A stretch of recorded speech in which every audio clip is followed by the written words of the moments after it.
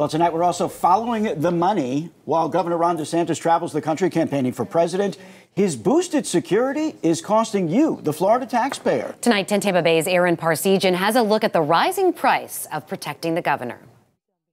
A fleet of vehicles driven by Florida law enforcement agents crashed on a Tennessee highway last month. The motorcade was taking Governor Ron DeSantis to a campaign event.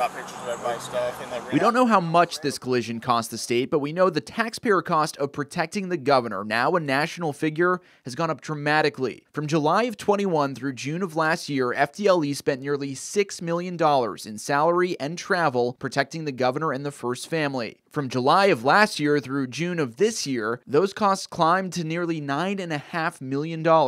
Get ready. The governor's office saying in part his effective record has brought an elevated threat profile, so FDLE has increased the number of agents keeping him safe. I think it's related to the governor's travel uh, in connection with his presidential ambitions. By law, FDLE must provide protection to the gov and the first family, but the blurred lines between candidate and governor is drawing criticism from watchdog groups.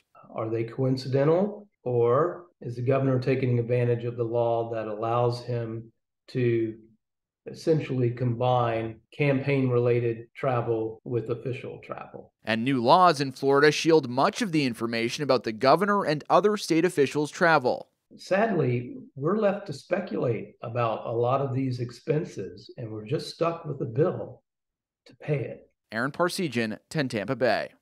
FDLE also provides security for politicians and dignitaries who visit our state, like Vice President Kamala Harris and others. The total costs have also surged for that, about $300,000 in the past year. We have a full breakdown of all of these costs. It's posted right now in this story on 10tampabay.com.